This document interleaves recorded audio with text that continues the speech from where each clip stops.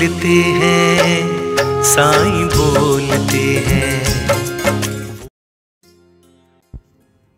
तुम एक अच्छे इंसान हो, इसलिए मैं तुम्हारे पास अपने कुछ बच्चों को भेजता रहता हूँ जो दुखी हैं। तुम सोचते हो, बाबा, आप मेरी इतनी परीक्षा लेते रहते हो, मैं खुद थक जाता हूँ इन परेशानियों से तो मैं कैसे आपके इन दुखी बच्चों की सहायता करूँ?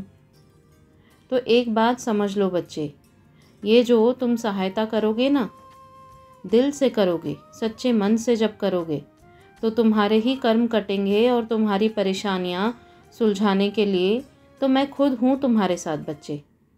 तुम जब ये सहायता करोगे तो तुम्हारे कर्म तो कटेंगे ही साथ साथ परेशानियाँ भी ख़त्म होती चली जाएँगी। एक बात पर ध्यान दो, दुनिया न तुम्हें हमेशा परखती रहेगी।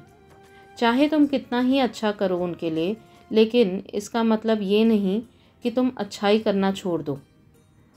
क्योंकि दुनिया परखेगी तो बुरा भला भी बोलेगी, चाहे तुम कितनी भी अच्छाई दिखा दो।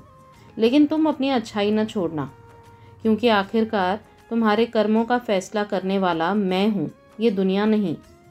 इसलिए तुम जैसे मेरे अच्छे बच्चे हो अभी, वैसे ही हमेशा रहना और समाज के लिए जो थोड़ा बहुत कर सको वह ज़रूर करते रहना। खुश रहो और खूब मुस्कुराओ।